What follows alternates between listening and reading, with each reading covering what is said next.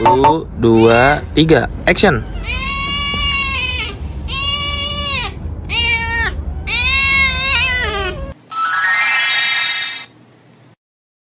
Duh, Bekasi panas banget. Hmm, kayaknya kita butuh kulkas buat minuman dingin. Jam berapa sih? Oh, masih buka kayaknya.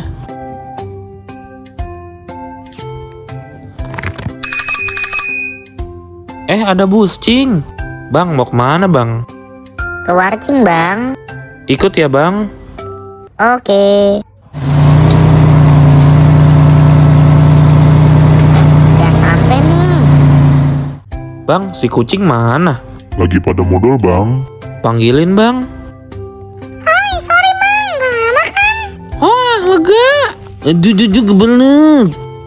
Bu, di sini jualan kulkas nggak? Nah, kebetulan bang, ini ada kulkas kucing. Tapi saya nyari yang muatnya banyak, bu.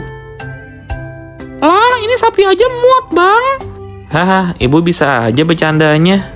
Mana mungkin ada kulkas yang bisa muat sapi? Ya, lu nggak percaya, Mimi? Apa mak? Ambilin kunci kulkas. Kulkas yang ini mak?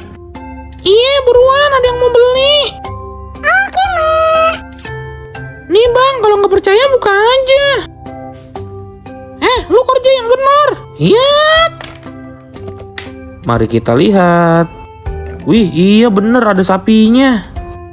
Kan gue bilang apa, kucing nggak pernah bohong bang.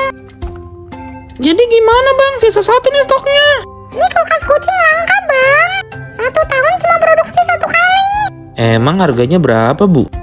Kalau bawa sendiri 2 juta bang. Waduh, bisa diantar nggak bu? Bisa bang, kalau diantar 2,5 juta. Kok mahal bu?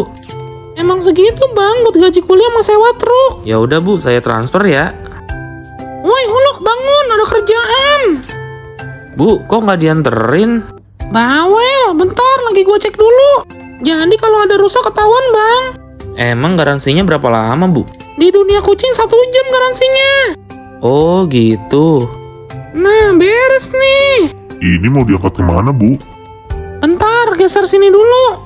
Mimi telepon supir truk suruh ke sini. Oke mak. Aduh. Lah, kok dijatuhin, Bu? Biar tahan banting, Bang. Nah, datang juga nih kupret. Hulak, ayo angkat. Bu ini truknya nggak muat, pesan yang gedean lagi. Bawel, udah nih aja murah sewanya. Buset dah, cari untung banget si kucing. Hap. Ah, bu kok dijatuhin? Iya salah lu, kenapa nggak diikat? Nanti jatuh di jalan rugi gue.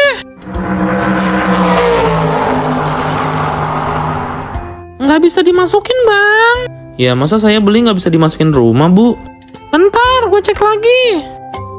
Hmm, wah kayaknya nggak bisa ini. Dah lah, Bang. Udah sore, gue mau nutup toko. Lah, terus ini gimana, Bu?